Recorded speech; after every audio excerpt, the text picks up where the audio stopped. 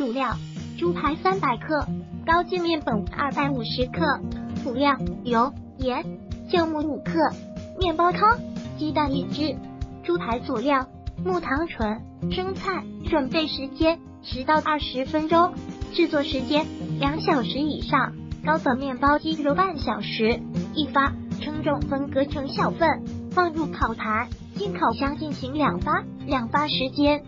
将猪排用肉锤锤打至原体积两倍大，将猪排进猪排调料，腌两小时以上，进冰箱放置。二发的面团，刷蛋液，撒芝麻，一百八十度烤二十分钟。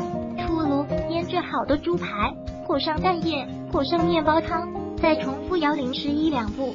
进锅内煎，煎至金黄。生菜不放油不放水，进锅稍微烫一下。面包切两半，加上猪排生菜，挤上沙拉酱即可。